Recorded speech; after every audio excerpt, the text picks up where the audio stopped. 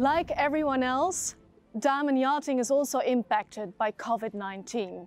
We have quite a few colleagues working from home these days, but we also have a lot of colleagues still coming to the yard every day to finish our projects as we still have more than 20 projects under construction.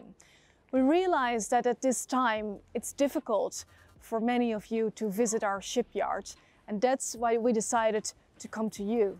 Please enjoy the virtual yard tour.